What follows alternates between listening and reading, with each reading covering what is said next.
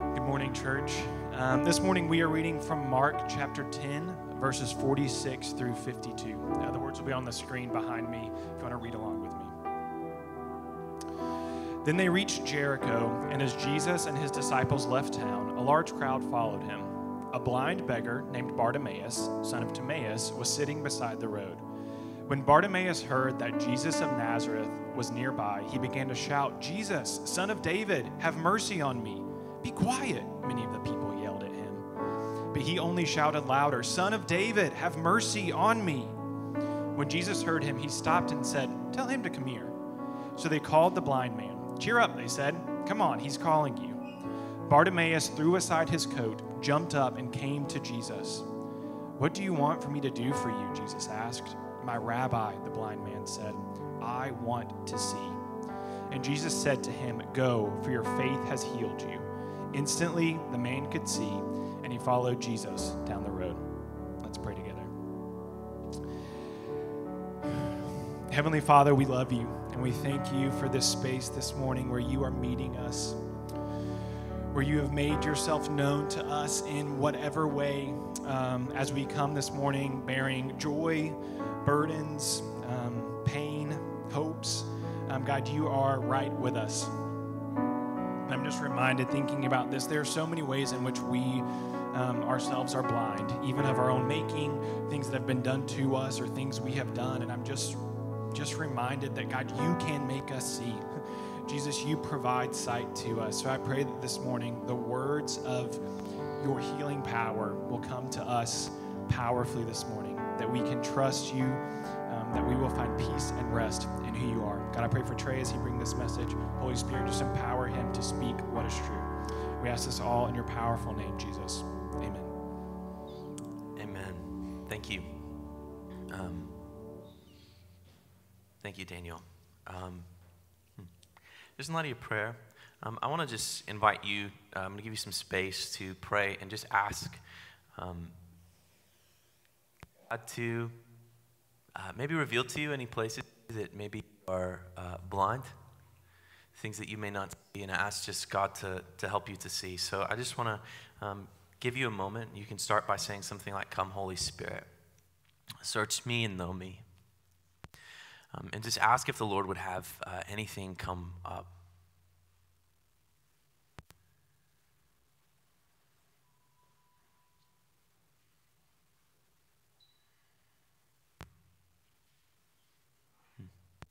In Jesus' name, amen. Um, if you were here with us uh, last week, which uh, some of you uh, some of you were, and a number of you uh, weren't, uh, something happened last week. Uh, something different, something unexpected. So, um, if you were here last week and this is your first time here with us, things look slightly different. our trailer went out. Um, it was like being pulled back into my driveway a couple weeks ago, and I noticed one of the tires was smoking, which is not what a tire is supposed to do, uh, in case you were wondering. Uh, really thankful that uh, dear friend Travis uh, Bug over here took the trailer to get fixed, um, but it was out last week, and so we kind of loaded everything individually. We have these rolling cases out there that we load everything in and set it up, tear down every single Sunday. But last week we just took everything individually and brought it in, so it definitely took a little bit more work. So we didn't have uh, pipe and drape. There are probably other things that were missing um, as well. We luckily we barely missed anything except we got here and we realized we didn't have coffee. Um, thankfully, Sarah went to my house and went and picked up coffee there because Lord knows we need some of that in the morning. Um, but a number of things happened uh, last week. So that happened. Um, I went to go edit my um, sermon video from last week, and I was like, oh, there was no audio coming from my mic, and was recorded. Cool. Um, also, right before our gathering, I just felt like I sensed God might be inviting me to do something that I'd never done on a Sunday gathering before, which is to completely ditch the sermon that I had planned and had run through. And so I was like, okay, let's go, let's do it.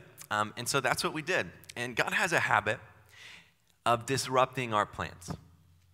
It's not to say we don't plan. I think planning can be great and empowered by the Holy Spirit, but God uh, has a way of disrupting our plans. And so I'm rolling with it. I want to go where he goes. So I want to be in step with him. So we, if you've been with us for a little longer, we have been in a series on the practice of fasting. Um, we've been in that. Well, we were in it for two weeks. We were supposed to be in it for four weeks. This was supposed to be week four. As I mentioned, we didn't do week three, which was about uh, fasting as a way of amplifying our prayers. And then this week was supposed to be fasting as an act of standing in solidarity with the poor.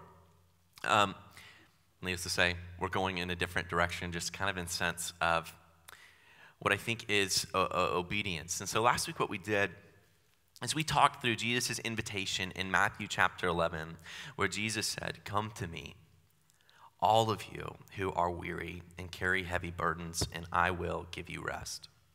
Take my yoke upon you, let me teach you, because I am humble and gentle at heart, and you will find rest for your souls.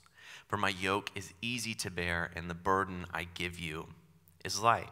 And what we ended doing was something that was also strange and uh, not our typical gathering, which is that we kind of uh, broke into groups and uh, gave space to bring these things to God and receive prayer. Um, and this was following the instructions from James chapter 5 to confess your sins to each other and pray for each other so that you may be healed. That the earnest prayer of a righteous person has great power and produces wonderful results.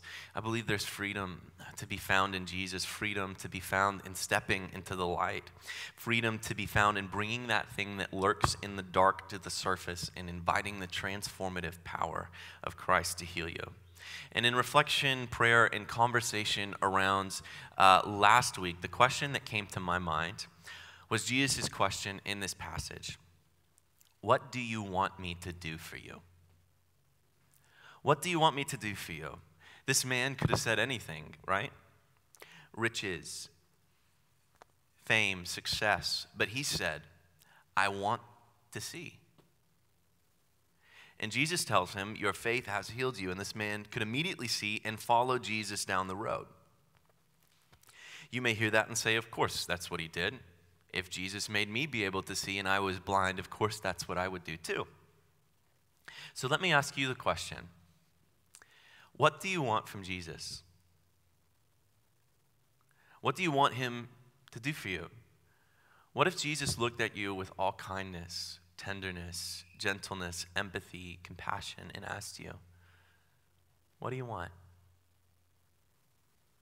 What do you want? What would you say? For some of us, the answer is obvious, and frankly, we've been asking Him. We've kept asking, we've been begging Him, both with words and with tears. We've done it both alone and invited other people to pray for us. And frankly, a passage like this, where Jesus says, Your faith has healed you, is kind of like a conundrum. What do I do with this? Because this has not been my experience. Is this true or is my experience true or in some weird way or both? And then what do I do with that? Are you all good or are you all powerful? But surely you can't be both of these things. Others of us perhaps haven't even considered the question. Maybe we've not even thought of what it is that you ultimately want. Or maybe you have considered it, but you've never thought about bringing it to Him and asking, there may be a couple broad temptations here in regards to our relationship with God with this in prayer, coming to God with things. One would be that we would avoid asking God for things. Maybe it's out of uh, a lack of trust. You don't think He can, you worry that He can't. Or perhaps, maybe more realistically for a number of us, it's a fear of disappointment. What if I do ask and then for whatever reason He does not? Wouldn't it just feel better not to ask in the first place and not have to deal with this? Others of us, though, uh, and depending on your tradition, may treat prayer as a way of like a magical formula. That if I pray something with enough faith for healing, for God to answer a prayer, then He is going to respond in power. That you will get the thing that you ask for. What we're left with, though, is neither of those. It's something far more mysterious. Is Tyler Staton, who's a pastor in Portland, Oregon, and wrote uh, in his book, Praying Like Monks, Living Like Fools. What we're left with is something far more mysterious. He wrote that we see a God who miraculously healed a leper, only to go on living in a world with leper colonies. What we see in this story is a God who heals a blind man, only then for more blind children to be born the same day. He writes, We see a God who displays healing power and also chooses personal suffering, namely on the cross, as the means to final healing. And he wrote that I know the power of God and the silence of God. And sometimes I think I'd handle the silence better if power was never on the table at all. A God with a personality and will is so unpredictable. God is a lot more mysterious than a formula that we can invoke, where God does respond in prayer and He answers prayers and He works in power. But other times it seems like we pray and pray and pray, and it's not for a lack of faith. I think of Jesus in the Garden of Gethsemane praying with full trust in the Father. Lord, if you're, Father, if you're willing, take this cup of suffering from me, but not my will, but yours be done. Did Jesus not have ultimate trust in the Father? He obviously did. Can I just encourage us? If this is you, the fact that you are wrestling with God and an immense pain over his seeming silence is not an indication of your lack of faith. It actually is more than likely an indication of true faith because if you didn't have faith in the first place, it wouldn't hurt like this. It wouldn't be this painful.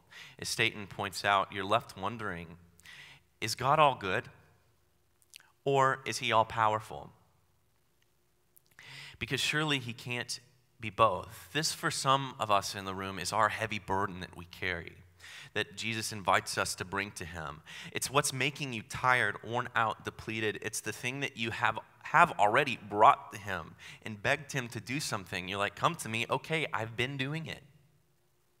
You say you'll give me rest. Where is it? You've begged him to do something only not to experience it yourself. Perhaps you've even watched others come in desperation, praying the same prayer that you're praying. And you see their prayers answered, but not yours. Maybe you've had him answer the prayers before, and you're left wondering God, are you there? Do you care? Am I wrong? I know you're not a genie in the bottle, I get that, but you also respond to persistent prayer, so which one is it? You can move in power and you tell us to ask, so I'm doing those and I'm saying that you do, but you don't seem to be listening to me. Tyler Staton wrote that God, when we pray, he collects more than just the words wedged between dear God and amen. He also collects our tears. Psalm 56 reads, You have kept count of my tossings, put my tears in your bottle. Are they not in your book? He describes that prayer is asking, it's begging God to do something, asking Him to move in power. But prayer, he says, is also weeping. In the middle of a mess so thick we can't see up, but can only scream through tears Lord, I can't bear it any longer. He goes on to say, the psalmist tells us in Psalm 126 5, those who sow with tears will reap with songs of joy. Not only will God collect every tear, but He'll redeem every tear. God is not merely bottling up our tears, He also promises that when they touch the earth, they'll bring renewal. Every tear of ours that falls to the ground will grow the fruit of redemption. God bends history so that the moments of greatest pain becomes become the moments of greatest redemption, twisting the story to be sure that the pain we feel releases the power of new life. In the tears we cry become the foundation of a better world. We are promised that a day is coming when the Father Himself will wipe away every tear from our eyes, but until then, we live on an in between promise I will not let a single one of your tears be wasted. Staton goes on to describe how we pray to an un- unfathomably loving Father who collects our prayers like love letters and collects our tears like fine wine. Parker Palmer, who's a spiritual writer, wrote that the deeper our faith, the more doubt we must endure. The deeper our hope, the more prone we are to despair. The deeper our love, the more pain its loss will bring. These are a few of the paradoxes we must hold as human beings. If we refuse to hold them in the hopes of living without doubt, despair, and pain, we also find ourselves living without hope, faith, and love. And so, if you find yourself just in a posture of walking through something really pain and painful and continually bringing it to the Lord, almost the word that comes to mind is like, well done, good and faithful servant. It's not an indication of your lack of faith. It might be precisely an indication of your faith and your trust. You see, pain can harden us, and it also can soften us. And what Staton says is what we have to do is to invite God, the very one who seemed to break our trust, the very one who we have labeled as perpetrator, to be our healer. He says it's the most courageous of all choices. It's desperation, it's crying out for healing. We come to God seeking something. What do you want me to do for you? And sometimes, not all the time, but sometimes He answers and gives it to us. And He delights in doing so. And I'll pray that for you. But what we are promised is that we get Him. We get His presence, not always in a highly emotive way like breaking down in tears or being caught up in awe and wonder in a moment of worship or just the Holy Spirit falling on a room. Not always like that, but in that. Plus the gentle presence of a breath, the rustling of the wind, as sure as the sun rises in the morning and sets in the evening, it's an assurance that for all who follow Jesus, he will never leave us or forsake us. Psalm 27, verse 4 says this the psalmist says, The one thing I ask of the Lord, the thing I seek most, is to live in the house of the Lord all the days of my life, delighting in the Lord's perfections and meditating in his temple. Tyler Staton pointed out in his book that before prayer is really anything else, it's about love. It's about relationship, intimacy with God. And what I think was so encouraging to me about last week and what I really do believe was pleasing to the Father was honesty. Crying out in desperation, the honest labeling of the situation, no pretending, no facades, just reality. I read it somewhere and I can't uh, remember where I read it, and if someone in the room does, I would love to know uh, where it's from. That God doesn't meet us anywhere other than where we are. In other words, God isn't in the business of meeting us in some hypothetical reality that doesn't exist. God meets us in the present moment where we are. The question is are you even there? Are you operating in reality? Are you having an honest expression of this is where I'm at? This is what's going on. This is my life right now. No pretending, no facades. That's where God meets us. Jesus is described as Emmanuel, God with us, not God with hypothetical you. Not the you that would be further along at this age or in this stage of life or would be feeling different than you feel. You, God with us now, here, present, in this moment. Not you if you were in another church this morning. You here, me here. I recently spent some time, as I mentioned uh, several times uh, recently, at Asbury University, where they experienced an outpouring of the Holy Spirit for 16 days, and they gave us kind of a chance um, to like see underneath the hood of what it was like to see people who were kind of shepherding the moment and the movement, and kind of what they said um, was like, "Come, open up the hood, poke around, see, ask questions. I'm just here to tell you what I saw." What I experienced. That I experienced the Lord. I experienced the presence of God in a profound sort of way. And one of the uh, people who sort of grandfathered uh, this moment and helped shepherd it and empowering younger leaders was a man named David Thomas. Uh, who spoke about what led to great awakenings in the church, movements of the Spirit that spread out uh, pa- past even an individual place and moved past that. And as part of his PhD, he spent time going to interview some of the surviving people from the uh, Hebridean revival, which was in northern Scotland, what at the time some historians describe as the last real awakening in the Western world. And he got to go and interview some of the people who were there in this, these communities in northern Scotland, asking, What was it? What led to this? What like made space for this? Like, I, I want this. I want to move with the Spirit of God. I want God to show up. That's what we say we're after, right? Was it preaching? Was it methodology? Was it some really cool, incredible thing? Like, how can we take that and replicate it? Sure, those things mattered. There was, there was preaching, there was methodology, there was all that. But I want you to hear this um, from him, and this is a, a, lengthy, a lengthy quote. Um, and I'll tell you if I break from it, but I'm going to be reading from him. He heard this from men and women now in their 80s, and he said it was often um, with tears as they still recounted the stories. He said they described something more essential a kind of spiritual posture found among some who were the catalytic core, a spirit of urgency and audacity, an attitude of brokenness and desperation, a manner of prayer that could be daring and agonizing. These friends in the Hebrides call it, or in northern Scotland, call it travailing prayer like the Holy Spirit groaning through them, they said, like a woman travailing in labor, like Paul in Galatians 4 19, travailing as if in the pangs of childbirth that Christ might be formed in you.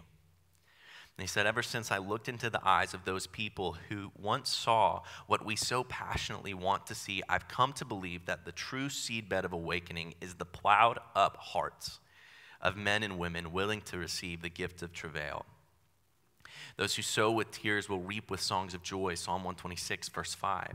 That prayer is the precursor to the work of God. Always the preparatory, anticipating act of awakening is not a new idea, but this may be the type of praying that has been lost not in Christian communities of Asia or Africa or Latin America, but somehow forgotten in the West. This was the praying of the Hebrews who groaned in their slavery and cried out in Exodus 2, and God heard their groaning and remembered his covenant. This was the prayer of Hannah for a child overcome to the point of being understood as intoxicated in her petitions. As in 1 Samuel 1, I have not been drinking wine or beer, I was pouring out my soul to the Lord. Hezekiah in 2 Kings 19 took his desperation to the temple and spread it out before the Lord. As Jehoshaphat said in 2 Chronicles chapter uh, 20, we have no power to face this vast army, but our eyes are on you. In Nehemiah 1, when Nehemiah heard the news of Jerusalem's brokenness, Nehemiah sat down and wept, then fasted and prayed for days. This is the prayer of the prophets that we give God no rest that we cling to God as a loincloth clings to a man's waist in Jeremiah 13, that we go speedily to pray before the Lord and to seek the Lord of hosts in Zechariah chapter 8, that the priests might weep between the portico and the altar in Joel chapter 2. Elijah climbed to the top of Carmel, bent down to the ground, and put his face between his knees to pray for relief from drought in 1 Kings 18. Scholars say it was the posture of a woman giving birth. Daniel 9 says he turned to the Lord God and pleaded with him in prayer and petition for Jerusalem. This is the praying of the Psalms. In Psalm 119, streams of tears flow from my eyes, for your law is not obeyed. In Psalm 88, day and night I cry out before you. In Psalm 142, listen to my cry, for I'm in desperate need. This was the praying of Jesus who offered up prayers and petitions with fervent cries and tears to the one who could save him. In Hebrews 5, as he approached Jerusalem and saw the city, he wept over it. Luke 19 41, he blessed those with spiritual hunger and thirst, and he taught those who followed him to keep on asking and seeking and knocking. I could go on and on in Colossians about commending someone for always wrestling in prayer for you, the Spirit interceding for us with groanings too deep for words. And then in Revelation, the only recorded prayer of the Holy Spirit is the urgent cry, Come, which, when united with the prayer of the church, is addressed to Jesus, beckoning his thrice repeated response, I come quickly. And hear this line from David Thomas. The Bible seems utterly unfamiliar with casual prayer prayer of the mouth and not the heart. Travail, a kind of burdened, focused pressing, seems closer to the throbbing core of prayer in Scripture. Tertullian, who was an ancient uh, early church father in North Africa, considered prayer a kind of holy violence to God. Origen in the second century believed that to weeping and weeping alone, God will pay attention. So many, so many other examples to be listed, but um, Duncan Campbell, who was a key leader of this Hebridean uh, revival, used to preach let us be honest in the presence of God and get right into the grips of reality. Have I a vision of our desperate need? Oh, for a baptism of honesty, for a gripping sincerity that will move us. Um, and from me, I long for our church to be ridden with radical honesty no pretending, no facades, no trying to be impressive, just people hungry, desperate, calling out for God, anticipating the presence of God. Jesus is worthy of our pursuit. He's worthy of all adoration, all glory, all po- power, and honor forever. The question is, what do you want? What is it that you want from Him? And if you, like me, long for more of Jesus, we need less of us. A prayer for more of you, less of me in order to see reality for what it is and what we need, we need a diagnosis. This could be a whole sermon in and of itself, but one of the ways the biblical authors get at this is through talking about this concept of sin. And it's a multifaceted concept that uses a number of different words in the Hebrew scriptures. But as Tyler Staton described, sin is shorthand for any attempt to meet our deep needs by our own resources. There's a number of different ways that sin plays out. There's sin that is in the world the brokenness, the evil, the destruction that we just see that's there. There's sin that is done to you. Not that you did, but someone hurt you. Someone did something that was wrong to you. And there's also sin that is done by you, sin that you perpetuate. And I found this so fascinating in Staton's book. Um, he pointed out that in the biblical imagination, talking about sin was not an accusation or a condemnation. And to be honest, even preaching and talking about sin, I just know that's kind of how I tended to feel growing up. It felt like a, just like a pointed accusation, like, how dare you do that? And I felt really guilty. But in the biblical imagination, it's not an accusation, it's not a condemnation, it's a statement of reality. It's a diagnosis. It's a walking into the doctor's office and them saying, you naming your symptoms, and them saying, let me tell you the problem. Uh, my dad uh, is an ER physician and has been for um, I don't know, 40 years or something. And he has all sorts of crazy, crazy stories. Um, but increasingly, what I hear from him and other people in the medical profession is that with the advent of the internet and people going on WebMD um, and other places, before they come in, people come in and say, This is what I need. And not only here is my problem, but here's the medication I need to get from you. And of course, my dad, being a seasoned veteran, and that is like, No, like that's not how this, this relationship works. And with God, in the same way, we need an honest labeling of our symptoms and be open to what Him, He, our great physician and healer, will say to us to receive the healing and forgiveness that we need. As Staton wrote, to confess our sin is to say, I want to name my symptoms completely and comprehensively because I want healing completely and comprehensively he describes confession, this is such a good line, as a terrifying gift, which sounds like a contradiction because it is. It is both terrifying and it is good for you. And what we see in the beginning of the Bible is where Adam and Eve sin against God, they go and they hide. The alternative to hiding is a stubborn refusal to hide no matter how uncomfortable it gets, an insistence on exposing ourselves to God. And that's the only way, Staton writes, to open ourselves up to unconditional love. We make a big mistake uh, in the Western church in particular when we assume that spiritual maturity means that you have less things to confess.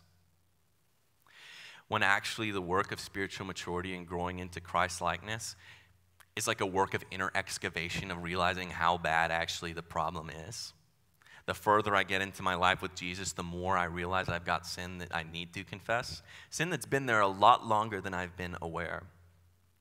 Robert Mulholland Jr., in his book, Invitation to a Journey, outlined four sort of layers to sin um, that I find really helpful. Uh, I used to do student ministry, um, and I just know my own perception of sin when I was uh, younger, middle school, high school, was very much just pertaining to like actions and like really big bad things. And so you say, well, I'm a pretty good person. Like I haven't killed anybody. Like I'm not the, you know, I'm not doing whatever your thing is that you like demonize. Like I'm not doing that. I'm a pretty good person. I don't really need to confess that. The biblical imagination of sin is about a lot more than like the action. It's like a, that's like the tip of the iceberg. Robert Mulholland Jr. Out described four layers of it. Um, one was uh, gross sins, is what the ancients referred to them as. Not gross as in ooh, but gross as in obvious. Like this is really clear, this is bad. Murder, prime example. Generally, across the board, Christian, not Christian, don't do that one. Underneath that would be what he referred to as conscious sins. These are things that you are aware of. that you know this is not God's best for me, but they're perhaps more socially acceptable. Under that, you might find things like greed, uh, materialism, um, lying to make yourself look better, uh, fudging your resume, I mean, whatever kind of thing you want to put in there. Underneath that is what he referred to as subconscious sins. In other words, these are the sins that you have that you are not aware of yet. Which that's kind of terrifying to think about, isn't it? I realized, like, for me, I was always, like, really insecure growing up. Um, and still can struggle with that, like insecurities. And so I was really convinced I wasn't prideful. Super convinced. And of course, it was kind of a wake up call for me to realize, oh, no, no, no, no. Mine is, a, is straight up pride, is what that was. And it's not that it's new, it's been there a very long time, but the Holy Spirit revealed it to me in His own time. Even recently, without divulging into too many details of it, like there was something in my life that I thought was just a result of like things that have happened to me, like a fear that I had. And I realized that for me, the Holy Spirit convicted me. It's not just what happened to me anymore, it's something that I now am perpetuating. And I asked the Lord to like search me and know me and convict me of things. And even that one, I was like, I, I, want to go the direction that you have for me. It was like an avoidance of conflict, was what it was. Um, and I was like, I, but I know, I have a general idea because I've been walking with you for a while, what you're going to tell me to do. You're going to give me opportunities to have conflict, and I do not want that. But okay, God, I want you. I want you. And I want you more than I want to avoid conflict. I want you. I want to walk in obedience to you. Would you heal me? Would you forgive me? Would you work on this within me? Then the last layer was what he referred to as trust structures or idols, which Tim Keller uh, defines as an idol as anything more important to you than God. Anything that absorbs your heart and imagination more than God. Anything you seek to give you what only God can give. And uh, I think for me, growing up, like the language of idol was also weird because I'm like, I don't like bow. I personally don't like bow down to like another um, another god or anything like that, right? But uh, idols can be good things that you turn into God things. Idols can be things that are even really good in your life that you instead begin to worship at the altar of. In other words, that you dedicate your life to the pursuit of all of these things, whether that's money, fame, success, a relationship, that you dedicate your life to getting these things. So, what's the response? One is to recognize that there is deep healing and forgiveness that it comes in the person of Jesus. The good news is way better than the bad news. As Staton points out, confession is two parts. One is searching, that's kind of what we did earlier, and then naming. Searching, he says, is God's part. Lord, search me and know me, reveal these things to me. And the second is naming. That's your part. That's my part. And you will, if you choose to embark on this endeavor, you will feel resistance. You will feel scared. You will debate whether or not it is worth it. You will wonder. I still wonder at times before I do it, but I'm always thankful that I did. Resistance is to be expected. Adele Calhoun, in her book Spiritual Disciplines, hand, hand, Spiritual Disciplines Handbook, um, describes how we're invested in looking like good moral people. And on a practical note, confessing your sin uh, is basically opening up yourself to saying, I am not. No matter how I may present to you, the problem is a lot worse than what you're aware of. And I know I try to be honest and authentic even from up here and tell you the things, but it's actually a whole lot worse than I've said up here. And the crazy part is I don't even know all of it yet. But the point of confessing our sins isn't just to get a therapeutic release. The point is not simply to confess, it's union, it's love, it's intimacy, it's acceptance, it's forgiveness with Jesus. Jesus frequently spoke harshly to the self righteous, those who thought they had it all together, and he welcomed the sinners who knew they were in need of a Savior. And so, what I want to do is I invite um, Carly uh, to come back up and uh, lead us um, in, in worship. is I think there's a number of us in the room in response to last week of come to me, all you who are weary and heavy burdened. There are some in the room that are just carrying heavy burdens that are not necessarily because you have done something wrong to earn it or deserve it or anything like that, but it is just a deep, painful burden that you feel. And others of us, as we were praying, we felt the Holy Spirit illuminate things in our lives that we need to bring to Him. Both of these postures, in a very real sort of sense, are a crying out in desperation God, I need you. God, I need you. I'm at the end of my rope. I've tried. I've, I, I literally don't know what else to do. I need you. Will you show up? Will you be here? It's an invitation to trust. Um, in, in his book, Staton described a conversation with a woman named uh, Jenna who'd lost a loved one uh, due to cancer. Um, and she said that she chose, eventually chose to trust. Not a trust that God willed this, or, but a trust that God is good, that God is present in our suffering, and that God will make all things new. So, what I want to do is, I want to end this with, with the invitation that I want to pray for us from Jesus. Come to Jesus. Come to him, all of you who are weary and carry heavy burdens, and he will give you rest. Take his yoke upon you. Let him teach you, for he is gentle and humble at heart, and you will find rest for your souls. For the yoke he gives you is easy to bear, and the burden he gives you is light. Will you pray with me? Come, Holy Spirit. Search us and know us, oh God. God, I pray that um, you cause us to just hunger for you, to be desperate for you.